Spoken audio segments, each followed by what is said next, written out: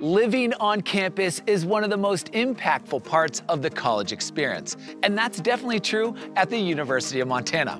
More than a thousand students call the UM campus their home. Josh is one of those students.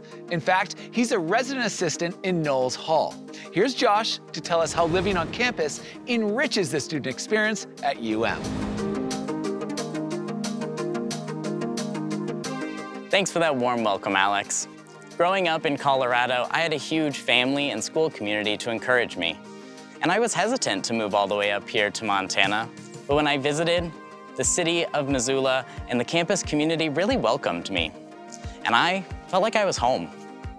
I oversee the living learning communities for the Davidson Honors College in Knowles Hall as a resident assistant, or RA.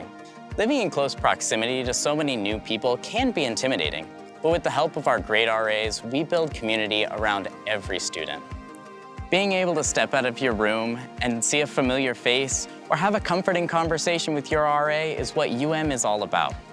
We can't recreate home, but we will do everything we can to create a home for you.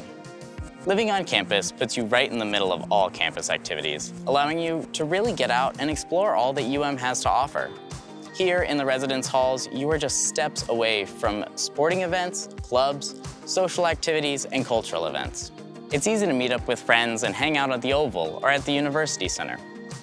Whether it's grabbing a snack, attending events, or going to club meetings. By living on campus, I have developed hundreds of relationships with fellow Grizzlies. And no matter your major, your hometown, or your background, you will find your place here on the campus of University of Montana. And now, Back to you, Alex.